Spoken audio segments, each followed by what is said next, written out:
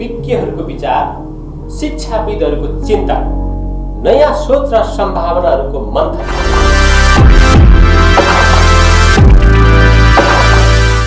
आदरणीय दर्शकवृन्द नमस्कार। कार्यक्रम शैक्षिक बसमा यहाँहरूलाई स्वागत छ। सदाझै आज पनि म बाबुराम शिक्षा क्षेत्रसँग सम्बन्धित एकजना फरक व्यक्तित्वका साथ उपस्थित भएको छु। र आज हाम्रो साथमा हुनुहुन्छ विगत लामो समयदेखि शैक्षिक क्षेत्रमा रहेर काम गरिसक्नुभएका र अझ भनौँ प्रशासन क्षेत्रमा प्रशासक भएर काम गरिसक्नुभएका एकजना व्यक्तित्व जो हुनुहुन्छ। ज्योति माध्यमिक विद्यालयका प्रधानाध्यापक भैरव सापकोटा। आउनुहोस् कार्यक्रममा उहाँलाई स्वागत गरौँ। कार्यक्रममा यहाँलाई स्वागत छ। धन्यवाद सर। यो प्रधान अध्यापक पद भनेको चाहिँ साह्रै सम्मानित। धेरैले चिन्ने सान मान भएको पद भन्ने गरिन्छ नि सर। सुनिन्छ नि। के हो यो? साँच्चै त्यस्तै हो सर? पद पद आफूले तयार गरिसकेको मात्रै होइन नेपाल सरकारले तयार गरेको पद हो। यो पद सान मान र मर्यादित बनाउने काम स्वयं आफूमा भर पर्छ। यदि आफूले राम्रो बनायो भने साँच्चै तपाईँले भन्नुभएको ठिक हो सर। यो यो व्यक्तिमा भर पर्ने कुरा हो। एकदम व्यक्तिमा भर भर पर्ने कुरा हो। अब म प्रधानाध्यापक भएँ जस्तो भए पनि चल्छ नि भने भनेदेखि त्यो सान मान पद केही पनि हुँदैन। तर म प्रधानाध्यापक भइसकेपछि मैले व्यवस्थापन गर्नुपर्ने कुराहरू अलिक बढी सेन्सिटिभ हुनुपर्छ म आफै। विद्यालय समय मेरो मैले विद्यालय समय दस बजेदेखि चार बजे मात्रै त हो नि भनेर त्यो समय काट्ने मात्रै गरेँ भने मेरो सानमान केही पनि हुँदैन। तर मैले साँच्चै विद्यालय बनाउनु पर्छ र यो मेरो विद्यालय हो भनेर म विद्यालयलाई अलिक बढी टाइम दिएँ बिहान सात आठ बजेदेखि नै टाइम दिएँ र बेलुका पनि छ सात बजेसम्म टाइम दिने योजना बनाएर हिँडेँ भने आफ्नो सानमान पनि आफै पर्छ त्यो आफू अनुसार हुने हो सर।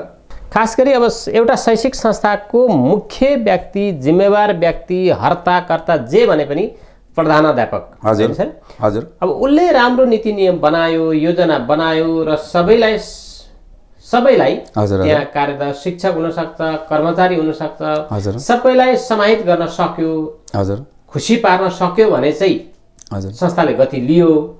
नत्र भने चाहिँ फेरि संस्था धराशय हुने स्थिति होइन एकदम धराशय हुन्छ सर।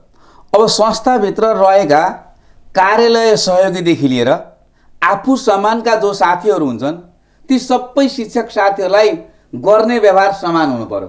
पहिलो कुरो। अह, कार्यालयको सहयोगीलाई चाहिँ वास्तै नगर्ने अनि आफूसँग टक्कर लिने खालको क्षमताकालाई चाहिँ हजुर हजुर भन्ने गरियो भने त्यो टाढा र नजिक भयो। त्यसैले कार्यालय भनेको चाहिँ सानो कर्मचारीदेखि लिएर आफू जिम्मेवार पोस्टभरिको सबै साथीहरूको सदस्यताको समूह हो यो कार्यालय भन्ने कुरो चाहिँ प्रधानाध्यापकले बुझ्नुपर्छ। र त्यहाँभित्र रहने सबै सरहरूलाई विद्यालयभित्र बसौँ बसौँ बनाउनु पर्यो। कसरी पढाउने भन्ने योजना दिमागमा तयार पारिदिनु पर्यो। उ- प्रशासकले या हेडमास्टरले त्यहाँ पढाउने शिक्षकका दिमागमा नराम्रा कुराहरू भर्ने दिमाग बनाउनु भएन। खाली दिमाग शैतानका घर भन्छन् सर। जब दिमागलाई पनि खाली राख्नु भएन सरहरूको दिमागलाई पनि के गर्नु पर्यो त भन्दाखेरि उत्साहित बनाएर लिएर जानु पर्यो तपाईँले आज घरायसी व्यवहारदेखि लिएर आज तपाईँले कस्तो छ आज तपाईँसँग छ सुविस्ता हुनुहुन्छ कि हुन्न आज तपाईँका घन्टी कतिवटा छन् आज तपाईँका चाहिँ पाठ योजना अनुसार लिएर आएका कुराहरू के के हुन् भनेर अलिक बेलैमै बडा रोमान्टिक तरिकाले वातावरण बनाइदियो भनेदेखि शिक्षक आफू खुसी पनि हुन्छ। जब काम गर्ने मान्छे खुसी हुन्छ सर काम गर्ने मान्छे खुसी भइसकेपछि उसलाई रोजगारको कुनै समस्या पर्दैन। ऊ आफै उत्साहित भएर काम गर्छ र स्वयं आफू प्रधानाध्यापक त त्यो जिम्मेवार भएर राम्रो काम बिहानैदेखि बेलुकैसम्म गर्यो भने टोटल्ली त्यहाँको त्यो स्टाफ परिवारले सानो कर्मचारीदेखि लिएर ठुलो कर्मचारीसम्मले होइन मेरो यो संस्थाको प्रमुख त यसरी खटिरहेको छ यसरी काम गरिरहेको छ त्यसो भएको हुनाले उसको अगाडि मैले पनि काम गरेर देखाउनुपर्छ। समाजप्रतिको उत्तरदायित्व मेरो पनि हो विद्यार्थीप्रतिको उत्तरदायित्व मेरो पनि हो भन्ने महसुस गर्छ र त्यो परिवार असल बनेर जान्छ र जसले संस्थालाई स्कुललाई पनि राम्रो बनाउँछ काम भन्ने कुरो त सानो र ठुलो भएन। है एउटा। सानोभन्दा सानो हामी तथाकथित भन्ने गर्छौँ। एक खालको नेपाली संस्कारको यो अलिकति विकास नभएको अवस्था हो। हजुर हजुर। तल्लो तहको कर्मचारी भन्ने गर्छौँ अथवा काम भन्ने कुरो त हजुर। त्यसले चाहिँ झन् महत्त्वपूर्ण काम गरिरहेको हो उसलाई। पनि सम्मान गर्नु पर्यो। जस्तो सर त फेरि हिमालका विभिन्न जिल्लाहरूदेखि लिएर पहाडका केही जिल्ला तराईका केही जिल्लाहरू समेत अनुभव बटुलेर आइसक्नु भएको छ हजुर सर। विभिन्न ठाउँमा बसेर रहेर काम गर्दाखेरि कतिको गाह्रो चाहिँ महसुस गरिरहनु भएको छ सरले यो गाह्रो भन्ने कुरो चाहिँ केही पनि हुँदैन सर त्यो फेरि व्यक्ति विशेषमा भर पर्ने व्यक्ति। विश्वास भर पर्ने कुरा हो सर गाह्रो त केही छैन सर म तपाईँको छत्तिस सालको बहुदलवादी मास्टर भएको हुनाले पञ्चायती शासकले कारवाही गरेर सरुवा गरेर सोलु पठाएका। एकाउन्न सालसम्म म सोलु बसेँ सर। सोलुका चौतिसवटै गाविस म घुमेँ। पढाउने काम चाहिँ पाँचवटा स्कुलमा गरेँ। त्यहाँ मैले गाई चराउने भेडा चराउने बाख्रा चराउने चौरी चराउने मान्छेलाई पनि उनीहरूका छोराछोरीलाई पनि मैले पढाएँ सर। त्यहाँ त झोले स्कुलहरू छन्। झोले स्कुल भन्नाले स्कुलभित्रै सधैँभरि आइरहँदैनन् हिउँ हिउँ के अरे बर्खा लागेपछि भेडा बाख्राहरू हिउँ हिउँ उत्तरतिर चढाउन लान्छन् तेरकै छोराछोरी पढाउनु पऱ्यो हिउँ लागेर हिउँ परेपछि बेसीतिर झर्छन् उदय गरेर पनि पढाउनु पर्यो। अब त्यहाँ कुनै स्कुल भौतिक संरचना छैन सर। त्यो भौतिक संरचना भनेको एकदम त्यो हेड टिचर अर्थात् त्यो टिचरमा चाहिँ भर पर्ने कुरा हुन्छ सर। त्यसो भएको हुनाले अब म सोलुमा पढाउँदाखेरि त्यहाँको शेर्पा समुदायको मान्छेको छोराछोरीले मलाई सरलाई के भनेका थिए भन्दाखेरि सुरुमा खेरुङ खाङ वा खेनिवे भनेका थिए। म बडा अचम्मित भएँ। खेनिवे भनेर सोद्धा। मलाई लगभग पन्ध्र बिस दिन त जिस्क्यायो कि के भयो कि भन्ने सोचेको थिएँ। तर खेरुङ वा खेनिवे भनेर शेर्पा भाषामा भनेको चाहिँ तपाईँको घर कहाँ हो सर? रहेछ। कति राम्रो शब्द रहेछ। मैले नबुझुन्जेल मलाई त्यही भिर पाखा भयो। बुझेपछि त मलाई त बडा राम्रो शब्द सोधेको रहेछ हेर्नु सर है। त्यसो भने त्यहाँ भाषिक कठिनाइ पनि हुन्छ। एउटा शिक्षकले तपाईँको हिमाल र पाहाडमा गएर पढाउँदाखेरि सामाजिक विषय पढाउँदा बाबु बाटाको चाहिँ बिचै बिच हिँड्नु है। छेउमा पढ्दा पनि लडिन्छ भित्तामा पढ्दा ठोकिन्छ बाटाको बिचै बिच हिँडेर हिँड्नुपर्छ भनेर सिकाउनुपर्छ। त्यही शिक्षक मधेसमा सर भएर आयो भने सर। बाटाको बिचै बिच हिँड्यो भन्यो भने इटरी चोकमा हिँड्यो भने गाडीले के गर्छ सर यसो भएको हुनाले बडा राम्रो एकदम एकदम यो एकदम इन्ट्रेस्टिङ कुरा भयो। ठाउँ विशेष अनुसार पढाउनु पर्छ सर पाठ्यक्रममा। के छ त्यसरी हुँदैन सर। त्यसैले पाठ्यक्रम निर्माताले पनि त्यो कुरो ख्याल गर्नु पर्यो कि शिक्षक कसरी हिँडिरहेको छ शिक्षकले कसरी पढाउँछ भनेर। त्यस्तो त्यो भावना ती अनुभवहरू मलाई थाहा छन् सर। हो त्यही त अब पहाडतिर त अब हिमाली भेगतिर त छेउबाट हिँड्यो भने पनि लड्ने सम्भावना भयो। अथवा भित्तातिर हो भने त पहिरो पहिरो। कुरा होला के होला होइन ठोकिने होला। अब ठ्याक्कै ठाउँ अनुसार व्यक्ति आफूलाई पाठ्यक्रममा एउटा हुँदाहुँदै पनि। ठाउँ अनुसार आफूले शुभ विचार गरेर विवेक प्रयोग गरेर पढाउनु पर्यो। हजुर। त्यसमा पनि फेरि प्रधानाध्यापकले त झनै बढी। विवेक प्रयोग गर्नु पर्यो होइन त पर्छ सर प्रधानाध्यापकको त्यति दिमाग भएन भने त्यो शिक्षकलाई कसरी भर्ने सर म पाहाडबाट एकाउन्न सालमा जिलान्तर भएर सुनसरी आएँ सुनसरी आइसकेपछि जनता मावि नर्सिङ सुनसरीको पनि सबैभन्दा दक्षिण भारतको विभाग बिहार प्रदेशबाट पढ्न आउने विद्यार्थी छन् सर ती। विद्यार्थीले मलाई सोलुमा खेरुङ खाङवा खेनिवे भनेका जस्ता विद्यार्थीले। आँके मकान कतै भेले भने सर यिनीहरूले अब। अब यो भाषिक कठिनाइ ममा हुन्थ्यो भने मैले के भन्थेँ? खेरिङ खाङबा खेरिवे भनेको र आँके मकान कतै बेले भनेको त एन्सर एउटै हो सर। झापाको तपाईँको कचना कलानमा गएँ एउटा शैक्षिक भ्रमणमा। त्यहाँका बङ्गालीले मलाई के सोधे भन्दाखेरि त्यही अहिलेको कुराको प्रश्न सोधे तुम्हार बाडी कोथा या छ? भनेर। हेर्नुहोस् है अब तुम्हार बाडी कोथा या छ भन्नु? खेरिङ खाङबा खोनिए भन्नु? आँके मकान कतै बेले भन्नु त एउटै हो नि। त्यसैले शिक्षक एउटै कुरामा मात्रै ध्यान दृष्टिकोण राख्नु हुँदैन। अझ प्रधानाध्यापकले त्यहाँको सामाजिक चालचलन कस्तो छ त्यहाँको भाषा कस्तो छ? से कम सामान्य भन्दा सामान्य कुरा चाहिँ जान्नै पर्यो। जान्नै पर्छ सबै भाषाको जान्नुपर्छ सर। अनि मात्रै त्यसले अँ। उपलब्धि दिन सक् सक्छ र ती विद्यार्थी चाहिँ खुसी पनि हुन्छन् सर। त्यही त अब सरको धेरै अनुभव छ। विभिन्न जिल्लाको विभिन्न विद्यालयहरूमा गएर अध्यापन गराइसक्नु भएको अनुभव पनि छ। त्यो पदमा बसेर प्रशासक भएर काम गरिसकेको अनुभव पनि छ। यो विद्यालयमा आजभोलि पछिल्लो चरणमा हामी धेरै सुन्ने गर्छौँ पत्र पत्रिकामा टेलिभिजनमा पनि सुन्ने गर्छौँ। विद्यालय व्यवस्थापन समितिको अध्यक्ष र। प्रधान अध्यापकका बिचमा चाहिँ बेला बेलामा रस्साकसी हुन्छ भनेर। यो किन किन यसरी संस्थालाई अगाडि बढाउने कुराको उद्देश्य एउटै होला लक्ष्य एउटै होला हजुर, हजुर। हो, किन हो। रस्साकसी हुन्छ अब यो रस्साकसी त्यति बेला हुन्छ सर प्रधानाध्यापकले बनाएका लक्ष्य तथा उद्देश्यहरू व्यवस्थापन समितिमा निर्णय नै नगराइकन छलफलको विषयवस्तु नै नबनाइकन कुनै एउटा आफ्नो मात्रै निर्दिष्ट उद्देश्य लिएर हिँड्यो भने समितिले पनि मन पर्दैन मन पराउनुहुन्न र प- अध्यक्षले त झन् मन पराउने कुरै भएन सर अध्यक्ष भनेको समुदायभित्रका रहेका छोराछोरीका बाबामा मध्येबाट या सामाजिक व्यक्तित्व मध्येबाट मनोनयन गरिने पोस्ट हो। उहाँ एउटा शिक्ष हेडमास्टर त्यहाँको शैक्षिक योजनाकार हो। शैक्षिक योजनाकारले आफ्ना कार्यक्रमहरू अनुमोदन गराउनको लागि समितिमा र अध्यक्षमा लानुपर्छ। सबैभन्दा पहिले अध्यक्षसँग सरसल्लाह गर्नु पर्यो। अध्यक्षज्यू हाम्रो योजना यो छ हाम्रो स्कुलको अवस्था यो छ शैक्षिक अवस्था यो छ आर्थिक अवस्था यो छ सामाजिक दृष्टिकोणले हाम्रो विद्यालयलाई यसरी हेरिन्छ। यो विद्यालयमा हाम्रो विद्यालयमा यतिजना छोराछोरी पढ्दैछन् भन्ने कुरो चाहिँ पहिली हेडमास्टरले नै अध्यक्षको दिमागमा राखिदिनुपर्छ। सबै अध्यक्ष त्यति सक्षम हुनुहुन्न। र अध्यक्ष व्यवस्थापन समितिको अध्यक्ष असक्षम भएको ठाउँमा र प्रधानाध्यापक ज्यादै सक्षम देखिनुभयो भने पनि त्यहाँ प्रधानाध्यापकको अहमता जस्तो देखिन्छ। प्रधानाध्यापकले आफू अहमता नभइकन पहिले आफ्नो अध्यक्षलाई समितिलाई व्यवस्थापन समितिलाई शिक्षक अभिभावक सङ्घलाई जानकारी गराएर जानुभयो भने त्यो मिलेर गइन्छ। यही बिचमा मात्रै अलिकति अन्तर छ सर। त्यो अन्तर के हो त भन्दाखेरि प्रधानाध्यापकले अलिकति आफूले लुकाएर राखेको कुरो सियरिङ गरेन भने अब त्यहाँको समुदायभित्रबाट छानिएर आएको मान्छे सबै कुरामा योग्य हुँदैन सर। लेखा पढाइमा पनि त्यति योग्य हुँदैन। आर्थिक पारदर्शिता हेडमास्टरले राखेको छैन भने त्यो गाह्रो हुन्छ। सबैभन्दा ठुलो कुरो त आर्थिक पारदर्शिता हो. आर्थिक पारदर्शितालाई प्रष्ट तरिकाले राखिदिनुपर्छ। जो आएर खोजेर हेर्दा पनि यो शिक्षकको खर्च यहाँ भएको छ यो शिक्षकको। खर्च यहाँ भएको छ भनेर राख्नु पर्यो सर। अहिलेसम्म अध्यक्ष र हेडमास्टर नमिलेको यही आर्थिक पारदर्शिता नभएर र आर्थिक को हिसाब किताब गाउँ समुदायका मान्छे खोज्न आउँदा हेडमास्टरले अध्यक्षलाई देखाइदिने अध्यक्षले हेडमास्टरलाई देखाइदिने। र अलिकति योजनाबद्ध ढङ्गले आफ्नो स्कुललाई कसरी लाने भन्ने कुरातिर चाहिँ मोटिभेट दुइटै पक्ष नभएको हुना ठाउँ नभएको ठाउँमा चाहिँ। अलिकति रस्साकसी हुन्छ अनि त्यहाँभित्रको शिक्षक परिवार पनि हाम्रो नेतृत्व गर्ने प्रधानाध्यापक ठिक हुनुहुन्छ भनेर विश्वास गर्नु पर्यो यहाँ। विश्वासको सङ्कट छ विश्वासको सङ्कट। विश्वासको सङ्कट छ प्रधानाध्यापक आफू प्रधानाध्यापक हुनको लागि आफ्नो स्टाफलाई लोही गोल्याएर टोल्याएर राजनीतिक दृष्टिकोणले म यो भनेर खर्च वर्च गरेर आफू हिँडेको हुन्छ। अनि त्यो टिचरले व्यवस्थापन समितिलाई प्रभावित गरिदिएको हुन्छ।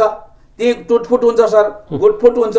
जसको कारणले गर्दा राज्यले जति आर्थिक लगानी गरे पनि जति धेरै लेखपढ गरेका र तालिम प्राप्त शिक्षक भए पनि शैक्षिक उपलब्धिदेखि लिएर भौतिक निर्माणका कुनै पनि कामहरू राम्रा हुन सक्दैनन्। त्यहाँ अलिकति स्ट्रगल गर्नुपर्छ। हुन्छ त्यस्तो ठाउँमा चाहिँ अध्यक्षको र हेडमास्टरको छ हजुर। त्यही त जस्तो अध्यक्षको पनि उद्देश्य त फेरि विद्यालय बनाउने नै हो। यदि तलमाथि भयो अथवा बिग्रियो भने फेरि अध्यक्षको टाउकामा पनि पर्ने भयो। पर्छ सर। के भयो त तपाईँहरू? के हेर्नुभयो त भन्ने कुरा पनि होला। त्यसले पनि अलिकति चासो दिएर पनि होला। हो हजुर तर मुख्यतया चाहिँ दुईजनाको बिचमा हजुर।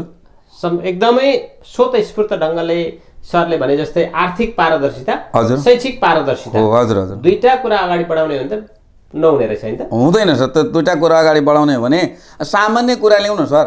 अध्यक्षज्यूले कुरो बुझेर या नबुझेर एउटा बच्चाको एडमिसन गरिदिनु पर्यो भन्नुहुन्छ। प्रधानाध्यापक नियावली अनुसार लु त्यो बच्चाको जन्म दर्ता ल्याउनु पर्यो। उसले कति क्लास पास गर्यो त्यति क्लास पास गरेर सर्टिफिकेट ल्याउनु पर्यो। भन्नु पर्यो प्रधानाध्यापकले। यदि यो कुरो भएन भनेदेखि कानुनले दिँदैन भन्नु पर्यो। अ अध्यक्षज्यूको भन्ने बित्तिकै अध्यक्षज्यूले भनिहाल्यो भइहाल्यो नि भन्यो भने हो, म त- जन्म दर्ता हुँदैन सर। हो जस्तो भोलि समस्या आउँछ। म पनि त यो संस्थाको त आधिकारिक व्यक्ति हुँ म। हजुर। ठुलो पदमा बसेको मान्छे हुँ भन्ने अहमता देखाउन थाल्यो भने अथवा प्रधानाध्यापकले कहाँ हुन्छ? म पो त ठुलो भन्ने खालका। ती आफू आफू बिचको अहमता भयो भने चाहिँ गाह्रो हुन्छ। गाह्रो हुन्छ सर ठिक भन्नु सर हो। त्यो अहमता चाहिँ छोड्नु पर्यो त्यो अन्त दुइटै पक्षले। छोड्नु पर्छ नरम र सरलता देखिनु पर्यो सर। अहिले खास गरी प्रधान अध्यापकले शिक्षकहरूलाई कुनै योजना बनाएर शिक्षकहरू साथी हो यसो गरौँ हजुर। भन्दा अलि गाह्रो हुन्छ अरे। तुलनात्मक रूपमा यो संस्थागत विद्यालयका शिक्षकहरूलाई चाहिँ प्रिन्सिपल अथवा प्रधानध्यापकले ल साथी यसो गर्नुपर्छ ल यसो गर्नुहोस् है। भनेपछि तुरन्त तुरन्त हुने। हजुर। तर। सामुदायिक विद्यालयहरूमा चाहिँ त्यो अलिक समस्या देखिन्छ अरे। हो त? यो सबै विद्यालयमा छैन सर। सबै विद्यालयमा छैन। केही विद्यालयमा चाहिँ सर हजुरले भनेको सरले भन्नुभएको सत्य तथ्य कुरा हो सर। कस्तो विद्यालयमा त्यो छैन भन्नुहुन्छ भने जुन विद्यालयमा महिनाको एकचोटि कम्तीमा स्टाफ मिटिङ बस्दैन। विद्यालयभित्रका सारा कुरा गतिविधिको बारेमा आफ्ना स्टाफलाई उहाँ प्रधानाध्यापकले आफूले जानकारी गराउनुहुन्न। त्यस्तो विद्यालयहरूमा प्रधानाध्यापकले त्यो शिक्षकहरूलाई दैनिक रुटिनमा जा भनेर अराउन पनि सक्नुहुन्न सर। आफू पनि नियमित हुनुहुन्न विद्यालयमा। होइन? अनि मिटिङ बैठकमा पनि भएका कुराहरू जानकारी गराउनुहुन्न। हामीहरू विद्यालयको शैक्षिक गतिविधि यो छ। यो शैक्षिक गतिविधि सुधार्नको लागि यो काम गर्नुपर्छ भनेर मिटिङ बसेर सबै सरहरूको बिचको अन्तर कन्तरमा लु तपाईँहरूका समस्या के के छन् ल्याउनुहोस् भन्ने। आफ्ना पनि समस्या राख्ने विद्यालयको पनि समस्या राख्ने। छलफल गराउने हो भने सर सबै शिक्षकहरू एकजुट भएर खट्नुहुन्छ। सबै शिक्षकहरू एकजुट भएर खट्ने बित्तिकै त्यहाँको शैक्षिक उपलब्धि राम्रो हुन्छ सर। अनि यसरी सरकारी सामुदायिक विद्यालय भन्ने बित्तिकै सबै विद्यालयमा त्यो अनमेल छैन सर।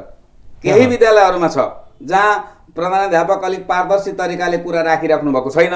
विद्यालय व्यवस्थापन समितिको अध्यक्ष र स्टाफसँग शिक्षक परिवारसँग त्यो त्यस्तो ठाउँमा चाहिँ अहिले सरले गरेको प्रश्नको एन्सर मिल्न सक्छ सर। थोरै विद्यालयहरूमा चाहिँ मतलब समस्याको रूपमा छ। म धेरै विद्यालयमा समस्या छ थोरै विद्यालय चाहिँ राम्रा पनि छन् सर। के छ भनेदेखि जस्तो राम्रो कामको सुरुवात आफैबाट गर्नु पर्यो हजुर होइन? ठिक हो सर। आफू चाहिँ नियममा नबस्ने अरूलाई चाहिँ तपाईँहरू नियममा बस्नुपर्छ यो गर्नुपर्छ भन्ने आदेशात्मक खालका कुराहरू क्रियाकलाप हो भने चाहिँ त्यहाँ असल हुँदैन सर। अलि सह्य नहोला अथवा नहोला। ठिक हो सर। होइन? यो स्थिति पनि देखिन्छ फाटा हो सर। अब पछिल्लो चरणमा सर त धेरै अध्ययनमा लाग्ने मान्छे धेरै ठाउँमा सम्पर्क सम्बन्ध गाँसिरहनु भएको छ। के छ पछिल्लो चरणमा सामुदायिक विद्यालयहरूको शैक्षिक अवस्था कतातिर गइरहेको यहाँले महसुस गर्नुभएको छ? यो पछिल्लो चरणमा सामुदायिक विद्यालयको शैक्षिक अवस्था अलिकति सुध्रिएर गएको छ सर। यो सुध्रिनुसँग के रह्यो भनेदेखि नेपाली शिक्षकहरू आफ्ना आफ्ना विचारप्रति आबद्धतालाई बढी महत्त्व दिइराख्नु भएको थियो। जसको कारणले गर्दा विद्यालयको गतिविधि भन्दा पनि आफ्नो विचारको गतिविधि राजनीतिक विचारको गतिविधि राजनीतिक गतिविधि। राजनीतिक गतिविधिसँग बढी इन्ट्रेस्टेड भएर अगाडि बढेको थियो। अह, अहिले के भयो भन्छ भने अहिलेको यो सरकारी नीति नियम कानुन पनि अब त्यसै राजनीतिक दलभन्दा फरक ढङ्गले जानु पर्यो आफ्नो पेसालाई बढी ध्यान दिनु पर्यो भन्ने नीति निर्देशन पनि बढी आयो सर। त्यसो भएको हुनाले पहिलेभन्दा तपाईँको मैले देख्दाखेरि लगभग पचास पचपन्न प्रतिशत चाहिँ सुध्रिएको छ सर। र यो सुध्रियो कहाँ सुध्रियो भन्नुहुन्छ भने अहिले पनि गाउँ स्तरमा जाँदा त्यति सुध्रिएको छैन। सहरी स्तरमा सञ्चार माध्यम नजिक भएको ठाउँमा अलिकति बुझ्ने मान्छेहरूको सङ्ख्या बढी भएको ठाउँमा यसरी सुध्रिएको हेर्दाखेरि चाहिँ अलिकति राम्रो देखिन्छ सर पहिलेको भन्दा किनभने एसएलसीको रिजल्ट देखाउँछ। है त्यसको साथसाथै गाउँघरमा मान्छेहरूले का छोराछोरीले गरेको व्यवहारले देखाउँछ। यो चाहिँ के बुझिँदै आइरहेको छ त भन्दा पहिलेभन्दा सकारात्मक छ। विद्यालय दस बजेदेखि चार बजेसम्म शिक्षकहरू स्कुलभित्र बस्ने। अहिले सरकारले पनि हरेक विद्यालयमा के त भन्दाखेरि सरकारी विद्यालयमा सरकारी कर्मचारीका छोराछोरी पढाउनु पर्छ भन्ने जस्ता नीति नियम कानुन ल्याइदिएको छ। यसको साथसाथै हरेक विद्यालयमा अहिले त तपाईँको त्यो कम्प्युटर हाजिरी राखिदिएको छ। त्यो कम्प्युटर हाजिरीले पनि बढी प्रभावित भयो। दस बजे जानै पर्यो चार बजीसम्म बस्नै पर्यो बसेपछि के बस्नु त पढाउनु त पर्यो। त्यहाँको प्रशासक अलिकति असल हुने बित्तिकै टोटल्ली टिचरहरू के त भन्दाखेरि चाहिँ असल हुन्छन्। र यसमा के हुन्छ भने सर सबैभन्दा पहिले त मलाई टिचरले आफ्नो घन्टी मेरो पैँतालिस मिनटको घन्टी म घन्टी लाग्ने बित्तिकै क्लासमा जानुपर्छ भन्नुभयो र नपढाइकन चुप्प लागेर बस्नुभयो भने विद्यार्थी शत प्रतिशत असल हुन्छन् सर तर जाँदा पन्ध्र मिनट ढिलो जाने आउँदा दस मिनट छिटो आउने गर्दा त पैँतालिस मिनट पच्चिस मिनट गइहाल्यो बिस मिनट। कति पढाइ हुन्छ सर यो कारणले गर्दा अहिले चाहिँ त्यो टाइमलाई पनि बढी ख्याल गरेको कारणले गर्दा बालबालिकाहरू असल छन् र शैक्षिक गतिविधि अहिले राम्रो भएर गएको छ सर। त्यो पनि फेरि नजिकको कुनै संस्थागत विद्यालय होस् अथवा अलि राम्रो खालको सामुदायिक विद्यालय होस्। हजुर त्यहाँ चाहिँ त्यस्तो हुँदैछ त्यहाँ त्यसरी पढाइ भइरहेको छ हाम्रा त भएन नि त। हजुर। भनेर सचेत अभिभावकहरू पनि त गएर विद्यालयमा गएर प्रधान अध्यापक विद्यालय व्यवस्थापन समितिका सदस्य अध्यक्ष अथवा शिक्षकहरूसँग यो एक खालको वार्ता हुन थालेको अवस्था रह्यो नि त। त्यसले। गर्दा पनि ए गर्नै पर्ने रहेछ हामीले। नगरी त नहुने रहेछ भन्ने पनि बोध भयो होला। र। अर्कोतिर फेरि अब सामुदायिक विद्यालयहरूमा सङ्ख्या दिन प्रतिदिन विद्यार्थी सङ्ख्या घट्दै गयो भने त भोलि अर्को विद्यालयमा गएर गाभिने अवस्था हुनसक्छ। एकदम हजुर हो। यो भयो भने त फेरि हाम्रो सेवा सुविधाको कुरा भयो होइन? गाह्रो हुन्छ भन्ने पनि चाहिँ सबैलाई पर्यो होला। त्यस अर्थमा पनि केही हो कि? अब- सरले अघि एउटा चर्चा गर्नुभयो जस्तो यो सरकारी कर्मचारीका छोराछोरीहरू विद्यार्थीहरू चाहिँ सामुदायिक विद्यालयमै पढाउनु पर्ने संस्थागत विद्यालयमा पढाउनु नहुने भन्ने चर्चा आइरहेको छ। हजुर हजुर हो। जस्तो सामु यो संस्थागत विद्यालय खोलेर जो चलाइरहनु भएको छ संस्थापकहरू हुनुहुन्छ हजुर। उहाँहरू यसप्रति चाहिँ बडा दुःख व्यक्त गरिरहनु भएको छ। हामीले पनि यही ठाउँमा खोल्यौँ शैक्षिक संस्थाको उन्नयनको लागि हामीले विद्यालय खोलिरहेका छौँ। हामी चाहिँ छुट्टै देशको छुट्टै राज्यको नागरिक जस्तो पो हामीलाई विभेद गरियो भन्ने आरोप छ सर। सरलाई कस्तो यसको बारेमा यो यसो हो सर। अब राज्यका छोराछोरी भनेको जो सडक बालबालिका जस्ता छन् जसको घरमा आय आर्जनको स्रोत कमी छ जुन घरमा लेखपढ गरेका बाउआमाहरू छैनन् ती खालका बालबालिकाहरू अधिकांश त सरकारी स्कुलहरूमा छन्। ती खालका बालबालिका बुवा आमा चाहिँ के हुनुहुन्छ त भन्दाखेरि त्यति शैक्षिक गतिविधितिर ध्यान दिनुहुन्न। बिहान चाहिँ दस बजेदेखि आठ बजे काम गर्न कुनै फ्याक्ट्रीमा काहीँ जानुभएको बेलुका चाहिँ चार बजे पाँच बजीसम्म गर्नुहुन्छ। कति बेला आएर छोराछोरीको पढाइ र गतिविधि स्कुलको गतिविधिको बारेमा बुझ्नु। उहाँहरूसँग त्यो क्षमता छैन। अहिले चाहिँ के हो त भन्दाखेरि कम्तीमा त्यो सरकारी स्कुलमा पढाइ हुन्छ भने बनाउनको लागि सरकारी सेवा सुविधा प्राप्त गर्ने कर्मचारीका छोराछोरीहरू सरकारी स्कुलमा भयो भने ती चाहिँ अलिक जानेका बुझेका हुन्छन्। ती जानेका बुझेका त्यहाँ गइदिए भने त्यहाँभित्रको पढाइको गतिविधिको बारेमा नि कुरा गर्छन्। त एकदम तल्लो लेभलको मान्छेहरूको मात्रै छोराछोरी भएको हुनाले विद्यालयको गतिविधिको बारेमा सोच्ने योजना बनाउने खालका चाहिँ अभिभावकहरू हुनु भएन। त्यो पढले गरेको अभिभावक जानुभयो भने त्यहाँ पढाउने सरमिसहरूलाई पनि प्रश्न गर्नुहुन्छ। भ्याउनुहुन्छ अलिकति टाइम दिनुहुन्छ छोराछोरीको बारेमा भविष्यको बारेमा बुझ्ने मान्छेको सङ्ख्या। त्यसो भएको हुनाले संस्थागत बोर्डिङ स्कुलको साथीहरूलाई संस्थागत संस्था चलाउने व्यक्तित्वहरूलाई अलिकति दुःखसो लागेको मात्रै हो। तर हुन चाहिँ त्यस्तो हुँदैन सर। होइन त्यो त्यही खालको उहाँहरूको त्यो खालको आरोप पनि छ। हामीलाई चाहिँ राज्यले हेर्ने दृष्टिकोण फरक पारिदियो। हामी पनि त यही देशका नागरिक हौँ। हामीले पनि त राज्यले दिएको नियम कानुनमा बसेर हामीले पनि त विद्यालय सञ्चालन गरिरहेछौँ भन्ने एक खालको उहाँहरूको तर्क छ। अब हामी सर त यो यो क्षेत्रमा बसेर अथवा सुनसरीको खास गरी यो इटरी उपमहानगरपालिकाको सेरोफेरोमा बसेर हेरिरहनु भएको छ। हजुर, हजुर। यो भित्रकै चाहिँ शैक्षिक अवस्था कस्तो छ सर? सामुदायिक विद्यालयहरूको शैक्षिक अवस्था चाहिँ कस्तो छ? इटरी उपमहानगरपालिकाभित्र अहिले जम्मा सैँतिसवटा सरकारी सामुदायिक विद्यालय छन्। हजुर। यी सबै सरका सैँतिसवटै सरकारी सामुदायिक विद्यालयहरू इटरी भित्रै बजारभित्रै छैनन् सर।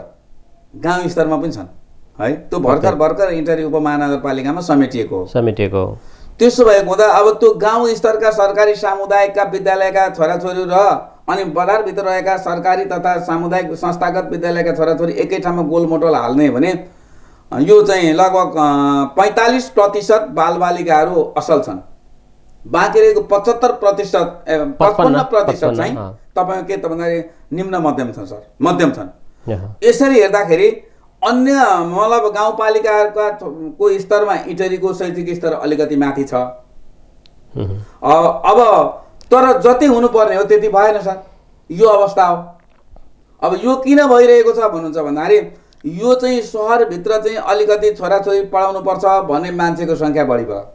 गाउँतिर चाहिँ के भयो त भन्दाखेरि ऊ पेसालाई चाहिँ निर्वाहमुखी बनाए जस्तो नि सर काम पनि त गर्नु पर्यो। छोराछोरीले काम गर्दैन। कसरी एकदम ठिक। बेलुकाको रोजीरोटीको व्यवस्था कसरी गर्ने? हामीले त पढाएर मात्रै कहाँ हुन्छ त? उसको जीवन पाल्नु पर्यो नि त। हामी आफ्नो। काम गर्छौँ बाबुआमा काम गर्छौँ। दाजु भाउजू काम गर्ने अनि उसलाई विद्यालय पठाएर त गाह्रो हुन्छ भन्ने एक खालको त्यस्तो मनस्थिति छ। धेरैमा चाहिँ त्यो मनस्थिति मलाई त्यो सोचाइ छ सर। अब ए बाबु त बिहान स्कुल जाँदा खेत जोत्न जानुभएको छ बुवा हल जोत्न जानुभएको छ खाजा लगिदिँदै जाए भने आमाले पठाउनुहुन्छ गाउँ पक्कै पनि।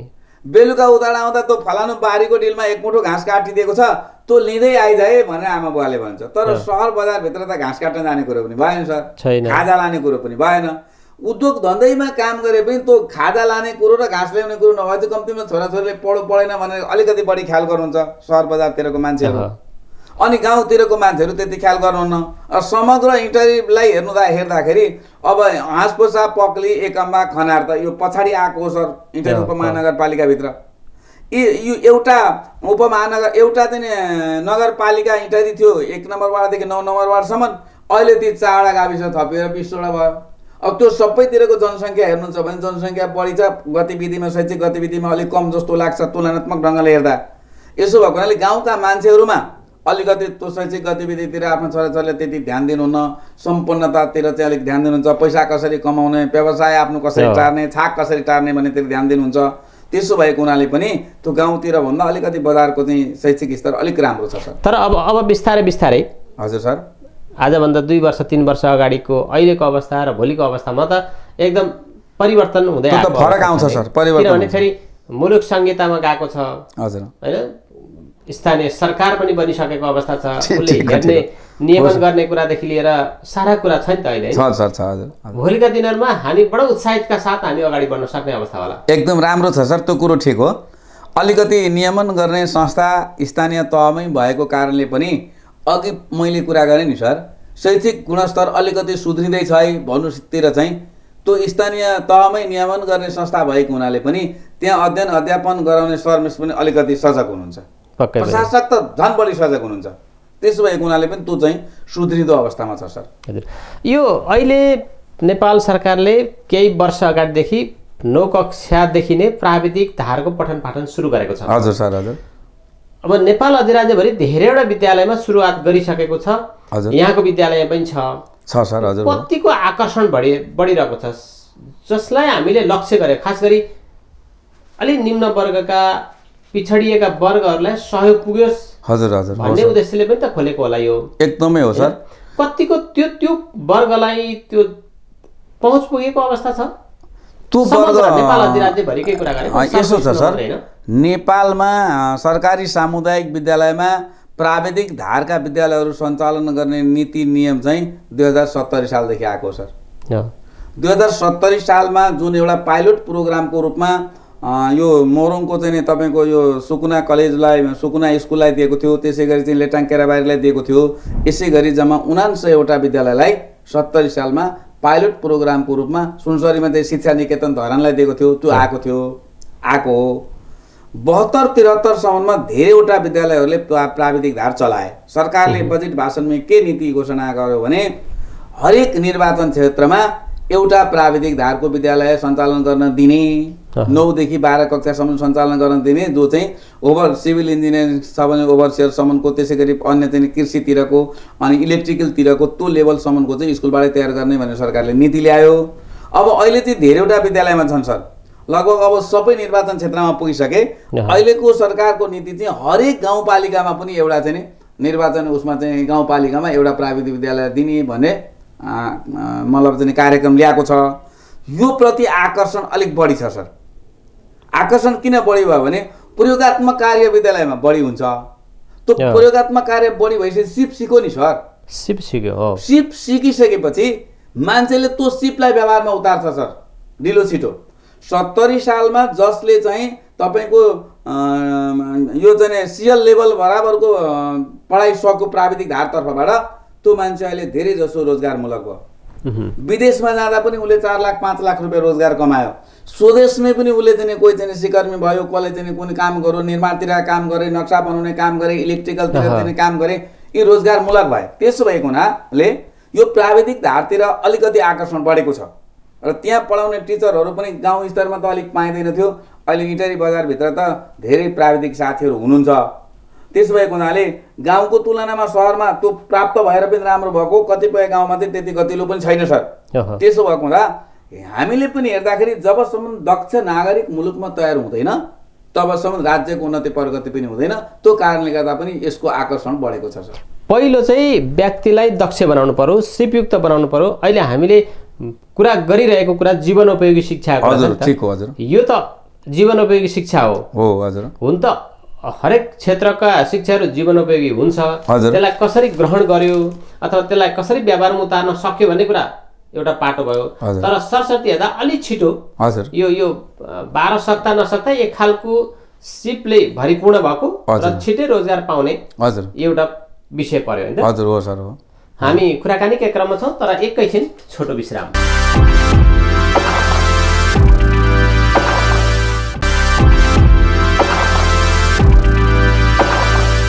यो छोटो विश्रामपछि पुनः स्वागत छ कार्यक्रम शैक्षिक बहसमा फेरि हामी कुराकानी गर्दैछौँ। सरको विद्यालयमा दुई धारको पठन पाठन एउटा प्राविधिक प्राविधिक धार एउटा साधारण। हजुर हो सर। आठ सयभन्दा बढी विद्यार्थी भएको सरको विद्यालयमा। आठ सय पन्ध्र छन् सर हजुर। हजुर। यो दुइटैलाई कसरी व्यवस्थापन गरिरहनु भएको छ सर? कतिको सहज छ कतिको अप्ठ्यारो छ? यो दुइटैलाई व्यवस्थापन गर्न अलिकति प्रशासक अर्थात् व्यवस्थापक र विद्यालय व्यवस्थापन समिति शिक्षक अभिभावकसँग अलिकति सक्रिय हुनुपर्छ सर। अब प्राविधिक धारकोलाई मात्रै बढी चाहिँ महत्त्व दिएर त्यतैतिर मात्रै एउटा प्रशासक लाग्यो भने त्यो विद्यालय प्राविधिक धारको मात्रै हुन्छ तर त्यसको उपलब्धिमूलक हुँदैन सर। यो प्राविधिक धारको पनि साधारण धारतर्फका छोराछोरीहरूलाई पनि अहिलेको आधुनिक शिक्षाको बारेमा जानकारी गराउनुपर्छ सर। जस्तै मेरो विद्यालयमा तपाईँले गएर हेर्नुभयो अर्थात् समुदायमा गएर सोद्धा बुझ्दा पनि हुन्छ।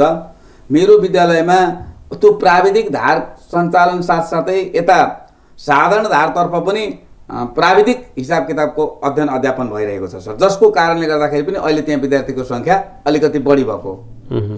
हरेक कक्षा कोठामा ती भाइ बहिनीले बुझ्ने गरी सिसी क्यामेरा राखिदिएको छ। हरेक कक्षा कोठामा स्मार्ट बोर्डको अवधारणाका कुराहरू राखिदिएको छ। सबै कक्षा कोठामा तपाईँको मैले मेरै मतलब कुर्सीमा बसेर टेबलमा बसेर नजिक बसेर सिसी क्यामेराबाट त्यो कक्षा कोठाको निगरानी गरेर त्यो कक्षा कोठाको स्विच थिचेर ए बाबु ए फलानु नानी तिमी किन चकचक गर्दैछौ? पढ। अहिले फलानु सर आउनु भएको छैन भनेर त्यो कोठामा आवाज पुग्छ सर। त्यो कक्षा कोठामा मेरो स्पिकर पनि छ। यो भएपछि के भयो भन्नु छ भने सर मेरो विद्यालय प्रविधिमय भयो। त्यसको लागि ठुलो खर्च पनि चाहिँदैन सर। हो हो। सरले भन्दै गर्दाखेरि एउटा पाटो चाहिँ के छ भने विद्यालयमा पै प्रविधि मैत्री बनाउने हो। हजुर। विद्यालयमा अहिले त एकदमै यो एक खालको फेसनै जस्तो भयो क्या सर। हजुर। सिसी क्यामेरा राख्ने। प्रत्येक कक्षामा राख्ने। तर अब त्यसलाई चाहिँ कुन तरिकाले प्रयोग गर्ने? हजुर। होइन विद्यार्थीलाई एकदमै त्रसित मानसिकतामा राखेर चाहिँ सिसी क्यामेराले हेरिरहेको छ। अहिले भरे सरले मलाई के भन्छ भनेर चाहिँ एकदम त्यही भरि मात्रै अनुशासित हजुर हुने वातावरण भयो नि त। राम्रो हुँदैन हुँदैन। हजुर। सरले भने जस्तै त्यहाँनिर बाबु तिमी चलिरहेका छौ किताब निकालेर पढ। हजुर। त्यो सन्देश पनि दिइहाल्ने हो भने चाहिँ त्यो असाध्य उपलब्धि भयो होला। हजुर हजुर। नत्र भने उही क्यामेरामा कैद गर्ने हजुर। अनि डर देखाउने। डर देखाउने अवस्था भयो भने फेरि यो अलिक दुर्भाग्य होला। त्यो हानि हानिकारक हुन्छ सर। मैले यसको बारेमा अलिक बढी अनुसन्धान गरेँ। राखौँ नराखौँ जोडौँ कि नजोडौँ पनि भने सर। विकसित मुलुकमा अमेरिकामा जापानमा यो सिसी क्यामेरा राख्नुहुन्छ भन्दा भन्दा रहेनछन् सर। किनभने केटाकेटीहरू बढी कैद आतङ्कित हुन्छ। तर यसलाई के गर्नुपर्छ? यसलाई बडा सहजले दिनुपर्छ सर। कसरी सहज बनाउनुपर्छ भने बिहानै विद्यार्थी भाइ बहिनी चाहिँ मलाई कक्षा कोठामा पस्दाखेरि त्यो एक प्रकारको धुन लगाइदिनुपर्छ। सिसी क्यामेरा मात्रै राखेर के गर्नु सर। नाचेर मात्रै के गर्नु? त्यहाँ त मादल पनि बन्नु पऱ्यो नि सर। पक्कै त्यसको चाहिँ वाद्यवादन सहितको नाच भयो भने बडा राम्रो हुन्छ। तर वाद्यवादन बेगरको नाच भयो भने त्यो पागल नाचेको हो कि के भएको हो ऊ त्यहाँ त्यो कुरा के छ भने सर मैले मेरो विद्यार्थी भाइ बहिनीहरू पौने दस बजे कक्षा कोठामा पुग्दा फुलको आँखामा फुलै संसार काँडाको आँखामा काँडै संसारको धुन लागिरहेको हुन्छ सर। राष्ट्रिय धुनहरू लागिरहेको हुन्छ सर। मेरो विद्यार्थी कक्षा कोठामा बसेपछि इन्ट्रेस्टेड भएर ऊ सुन्छ राष्ट्रिय गान बज्छ सर त्यहाँ। अब यो चाहिँ अलिकति केटाकेटीलाई अभिप्रेरित गर्ने खालका मतलब त्यस्ता खालका चाहिँ ल्याउनु पऱ्यो क्या सर ती गानहरू पनि। त्यो। सङ्गीतमय पनि बनाइदिनु पऱ्यो केटाकेटीलाई डर देखाएर त्यो घोकाएर रटाएर होइन सर। केटाकेटीलाई चाहिँ खुसी पारेर पढाउन सक्नुपर्छ। जसको कारणले गर्दा केटाकेटीहरू असल बन्छन् र सिसी क्यामेरादेखि डर हुँदैनन् सर। हो एकदम यो एकदम राम्रो कुरा हो सर। ठिक छ त्यो बाटो हिँड्ने ठाउँमा प्यासेजमा राख्ने कुरा होला अथवा ल्याबमा राख्नुपर्ने होला। कुनै के के भइरहेको छ भन्ने किसिमको निगरानीका लागि अथवा कसैले केही सामानहरू पो तलमाथि गरिरहेको छ कि भन्ने कुरा एकदम निगरानीका लागि राख्ने ठिकै हो। तर सरले भनिरहँदाखेरि त्यो कुरा चाहिँ विद्यार्थीहरू हाम्रो कक्षामा सिसी क्यामेरा छ हाम्रो कक्षामा स्पिकर पनि छ हामी धेरै कुरा सुन्न पाउँछौँ। झन् त्यसलाई त उत्प्रेरित गर्ने भयो हजुर सर हजुर। यो वातावरण यहाँले दिनुभएको छ। त्यही त मैले भने नि सरलाई अघि नै मैले भने विभिन्न अनु अध्ययन अनुसन्धानदेखि लिएर चाहिँ के चाहिँ राम्रो हुन्छ त? भन्ने। कुरामा सर लागिरहनु भएको छ सर, फेरि सर। आफै पनि बिहान सखारैदेखि हजुर सर। बेलुका छ सात हुँदासम्म विद्यालयमै बसेर विद्यालयकै गतिविधिमा सरिक भएर काम गरिरहनु भएको। हजुर सर हो सर हजुर त्यसले पनि। त्यो व्यवस्थापन गर्न दुइटै धारलाई सही तरिकाले अगाडि बढाउनको लागि सजिलो बनाइरहेको छ ठिक हो सर एकदम ठिक हो सर यसो भयो यो प्राविधिक धारतर्फको सामग्रीहरू खरिद व्यवस्थापन गर्दा जेनरल तर्फको जुन साधारण तर्फकाले पनि त्यो चिज देख्न भोग्न पाएँ नि सर प्रयोग गर्न पाएँ नि। मेरो विद्यालयमा अहिले मैले एउटा साइन्स ल्याब बनाएको छु सर फिजिक्स रुम छ केमिस्ट्री रुम छ बायोलोजी रुम छ कम्प्युटर रुम छ पुस्तकालय छ होइन? त्यो प्राविधिक धार आउनुभन्दा अगाडि पनि मेरो योजनाभित्र चाहिँ थियो। तर त्यो आइसकेपछि त्यो पनि विषयवस्तुभित्रै पर्यो। अहँ। अब मेरो जेनरलतिरको सबै विद्यार्थीहरू त विज्ञान प्रयोगशाला प्रयोग गर्नुहुन्छ। मैले विज्ञान प्रयोगशाला मात्रै निर्माण गर्दा सर अहिले पनि इटरीको सबै मान्छेले गएर हेर्दा हुन्छ सरकारी तर्फबाट त आएर मूल्याङ्कन गरिसक्नुभयो। अहिलेको प्रमुख जिल्ला अधिकारी हाम्रो अ, सरले सिडिओ साहबले आएर अस्तिको दिन आएर मलाई स्याबास र धन्यवाद पनि दिएर जानुभयो। त्यहाँ मैले हेर्दा यो मैले विज्ञान प्रयोगशाला निर्माण गर्दा महेन्द्र मोरङ कलेजको मेरो स्कुलको अध्यक्ष बनुलाल चौधरीजीलाई लिएर गएर मैले हेरेँ कस्तो बनाऊँ भनेर। कोशी सेन्ट जेम्स यहाँ हेरेँ इटरीको चर्चित विश्व आदर्श हेरेँ। त्यसै गरी म सुकुना कलेज गएर हेरेँ। त्यसै गरी म हुँदै हुँदै नेपालको केन्द्रीय प्रविधि दिने क्याम्पस चाहिँ धरान क्याम्पस। अँ, त्यो सबैतिर गएर हेर्दाखेरि मैले के विचार गरेँ भने अब कुन चाहिँ ठिक हो भनेर हेर्नुभन्दा अगाडि मैले गुगल्समा हेरेँ। अहिलेको प्रविधि छ नि। गुगल्समा हेरेपछि अब यो मैले यहाँ भइरहेको भन्दा यो यो कुरा म परिवर्तनशील गरेर बनाउँछु भनेर मैले ध्यान दिएँ। र मेरो एउटा साथी दिनेश कुमार चौधरी भन्ने साथीलाई साथ लिएँ। अहिले पनि गएर हेर्दा हुन्छ सर सञ्चार माध्यमले पनि। अत्यन्त व्यवस्थित छ। जुन व्यवस्थापकीय पक्ष चाहिँ त्यहाँ पढाउनु हुने सरहरू र म आफू साइन्सको शिक्षक त होइन। तर मेरो त्यहाँ उपस्थितिले सर यो के गर्नुभयो यो के गर्नुभयो यो गर्नु के गर्नुभयो भन्यो भने त्यो चाहिँ सही ढङ्गले व्यवस्थापन हुन्छ सर र। त्यो सबैतिर मूल्याङ्कन गरेर त्यो चिज निर्माण गर्दाखेरि प्राविधिक धारदेखि बाहेक जेनरलतिरको विद्यार्थी भाइ बहिनीले त्यो कुरो प्रयोग गर्न पाए देख्न पाए क्रियाकलाप त साह्रै राम्रो पनि भयो फेरि। विज्ञान विषयमा त सधैँभरि सैद्धान्तिक थ्योरी मात्रै पढाएर पनि भएन प्र्याक्टिकल त अत्यावश्यक भयो। धेरै एकै पटक गरेको प्र्याक्टिकलले उनको मनस मानसपटलमा मस्तिष्कमा चिरस्थायी भएर बस्छ। बस्छ सर। त्यो त दुइटैलाई फाइदा भयो। हो एकदम हो यो असाध्यै राम्रो कुरा हो। अब नि सरको प्रत्येक वर्ष नौ कक्षामा नयाँ विद्यार्थी भर्ना गरिन्छ प्राविधिकतर्फ हजुर सर। कति? उन्चासजनाको सिट होइन? अडचालिसजनाको सर अडचालिसजना अडचालिसजनाको। हजुर। अडचालिसजनाको सिट यो यो कसरी छनौट गर्ने? यो यो एउटा होला विधि होला मापदण्ड होला कि यसो भनसुनका आधारमा पनि अथवा मेरो मान्छे छ त्यहाँ दुईजना तिनजना किनभने यो अत्यन्त सस्तो सजिलो हजुर सर। होइन अध्ययन हो नि त। हो हो। त्यही लेभलको दस कक्षा पास गरेपछि एघार बाह्र पढ्न जाँदाखेरि कति लाख रुपियाँ खर्च पर्छ। तर अब यहाँ एकदमै नि शुल्कमा मेरा छोराछोरी घुसाउन पाए हुन्थ्यो कसैका आफ्ना इष्टमित्रका घुसाउन पाए हुन्थ्यो ल मेरो चाहिँ छ है। त्यहाँ तिनजनालाई चाहिँ राखिदिनु भन्ने पनि आउँछ। आउँछ। यस्तो कुरो त सबैभन्दा धेरै आउँछ सर। तर प्रधानाध्यापकले त्यो खालको पक्षपातीपूर्ण व्यवहार कहिल्यै गर्नु हुँदैन।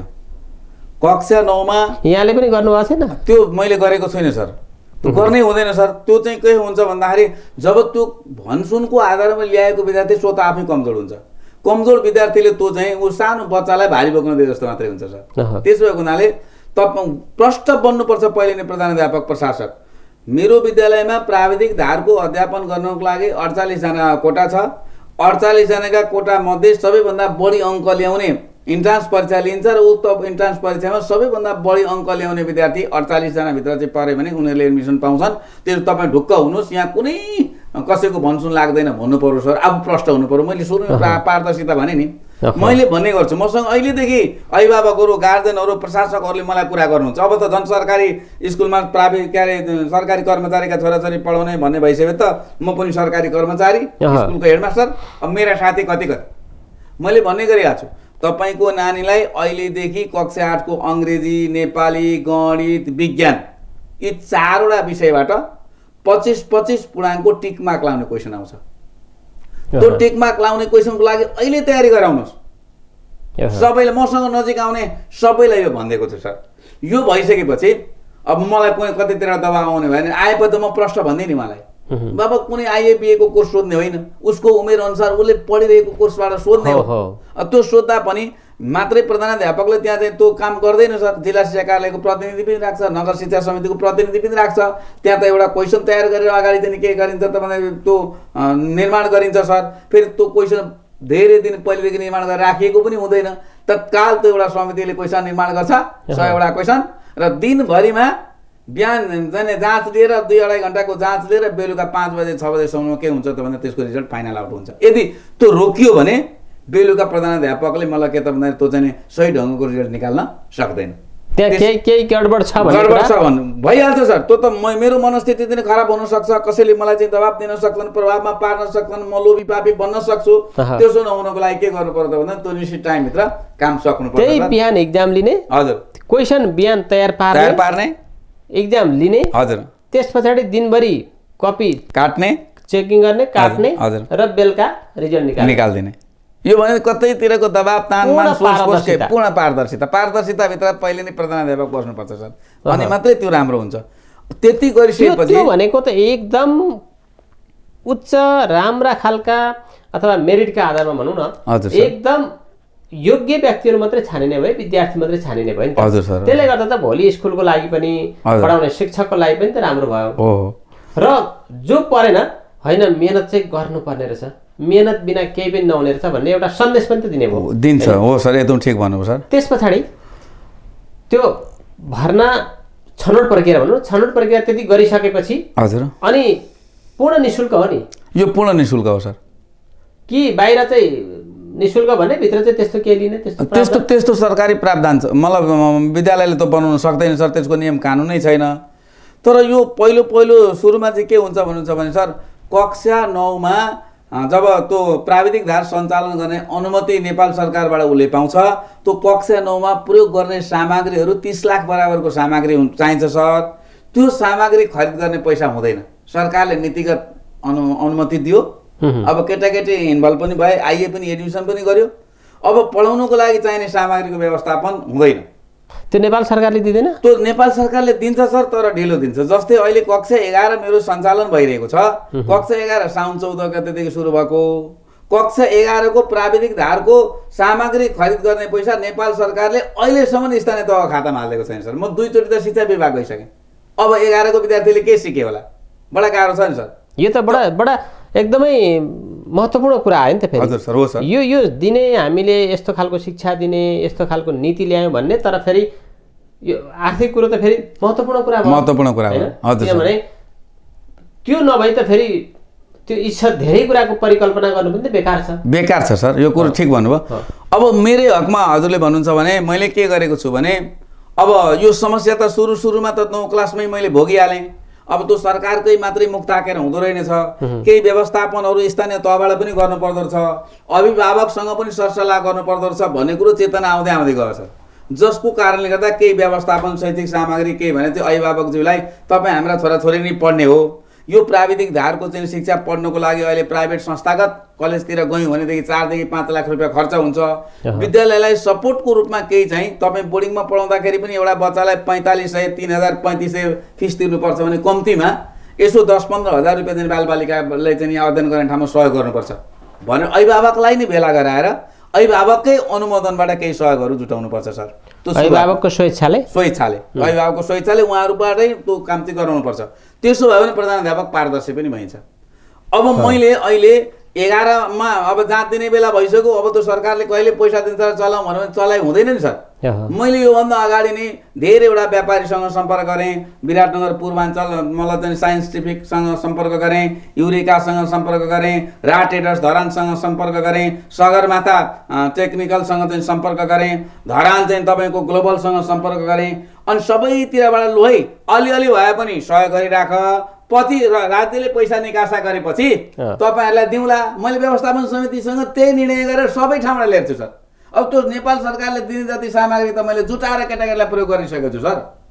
यो चाहिँ प्रधानाध्यापक अघि हजुरले भन्नु नि अलिक प्रधानाध्यापक चाहिँ के हुनु पर्यो त भन्दाखेरि त्यसप्रति लागु हुने लागि लागु मतलब ध्यान दिने हुनै पर्छ सर। पक्कै पनि।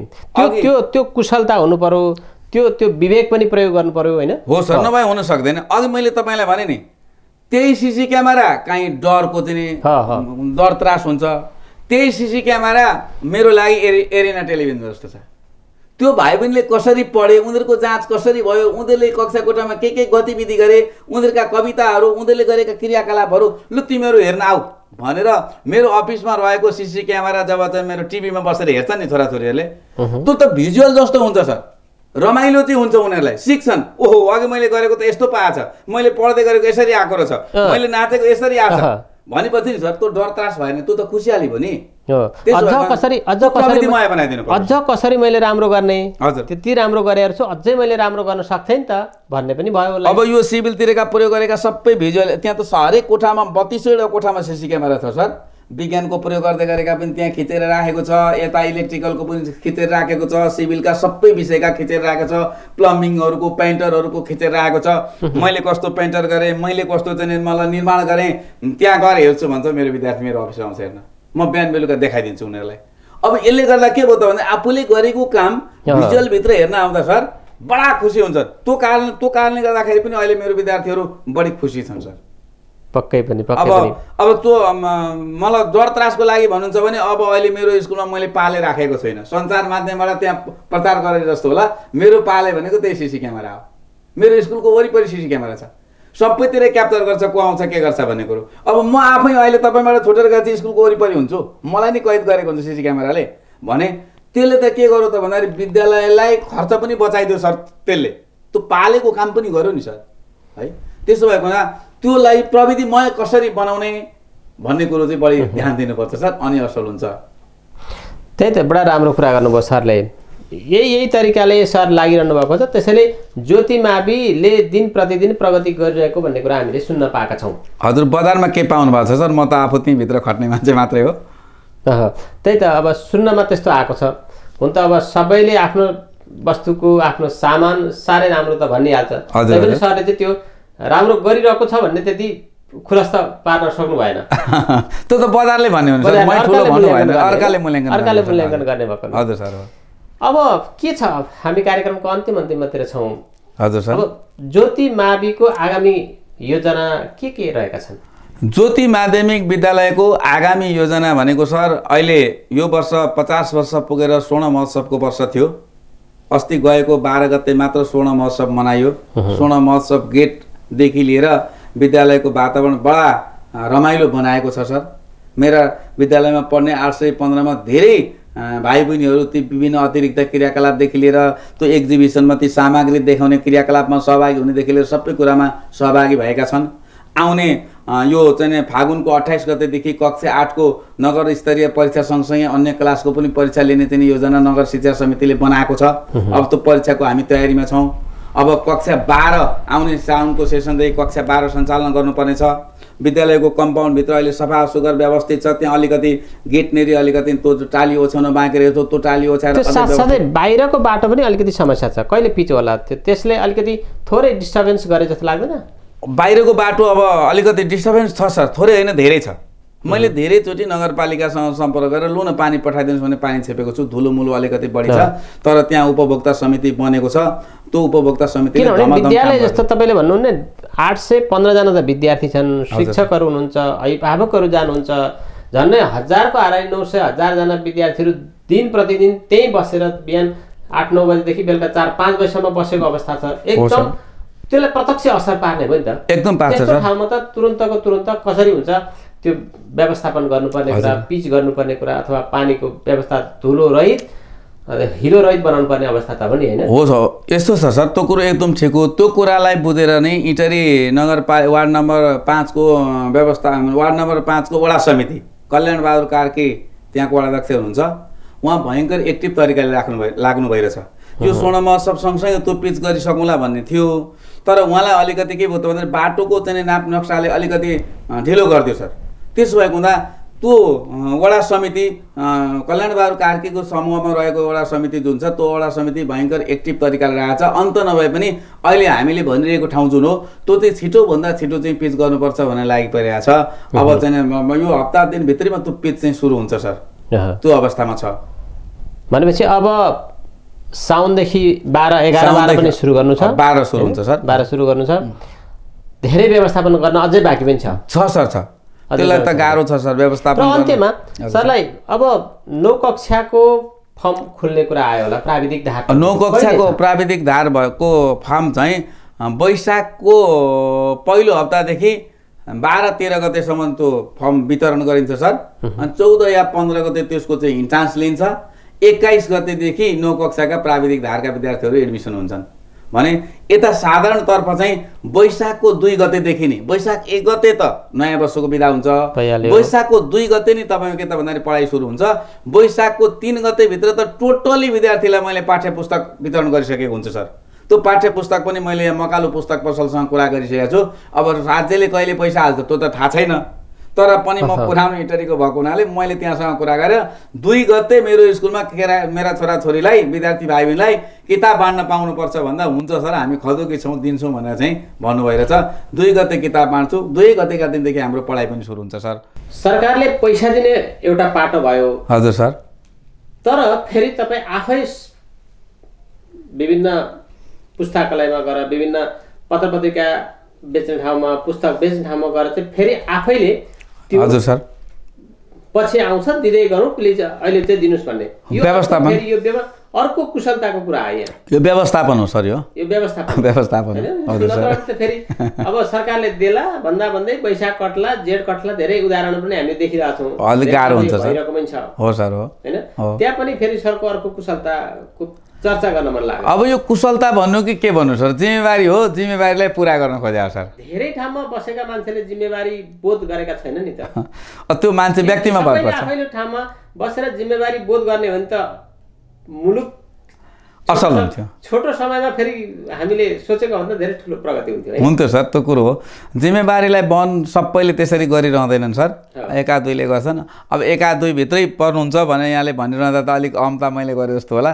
तर पनि त्यसको जिम्मेवारीलाई अलिक बढी पुरा गर्नुपर्छ भनेर चाहिँ म अगाडि परि हिँडिरहेको छु सर। जवाबदेहिता बढी छ यहाँलाई। त्यस्तो लिन्छु। मलाई त्यो जवाबदेहिता बढी छ। मैले जवाबदेहिता दिनुपर्छ। यो सामाजिक कुरो हो। सामाजिक कुरामा मलाई अगुवाई लगा गरेर त्यहाँ जिम्मा दिएको छ। मेरो जिम्मा गरेको ठाउँ चाहिँ असल हुनुपर्छ भनेर चाहिँ म रात दिन त्यो कुराप्रति चिन्तित रहन्छु। जसको कारणले गर्दा अब आगामी वर्ष हुने योजना बाह्र कर सञ्चालन गर्ने दुई गतेदेखि कक्षा सञ्चालन गर्ने दुई गते पाठ्य पुस्तक वितरण गर्ने अलिकति चाहिँ त्यहाँको शैक्षिक गतिविधि र खेल मैदानको चाहिँ व्यवस्थापन गर्ने यी कुरातिर छु सर म अलिकति बढी। हस् यहाँको महत्त्वपूर्ण समय र संवादको लागि धेरै धेरै धन्यवाद। धन्यवाद सर एरिना टेलिभिजन लगायत सरलाई पनि। र यसै गरी सरले ने म यो एरिना टेलिभिजनको माध्यमबाट ज्योति माध्यमिक विद्यालयलाई बोलाएर सम्मान गरेर म प्रधानाध्यापक जस्तो मान्छेलाई समेत आफ्ना दुई चार शब्द राख्न दिनुभयो। विद्यालयका गतिविधि र मेरो आफ्ना गति व्यक्तिगत गतिविधि समेत मैले प्रसारण गर्न पाएँ। यसको लागि म एरिना टेलिभिजन लगायत सरलाई म धन्यवाद दिन चाहन्छु सर। हस्। नमस्कार सर। हस् त यसका साथसाथै आजको कार्यक्रम शैक्षिक बहस यति नै अर्को हप्ता नयाँ व्यक्तित्व र विषयका साथ उपस्थित हुने बाचा गर्दै म बाबुराम पनि बिदा जान्छु। नमस्कार।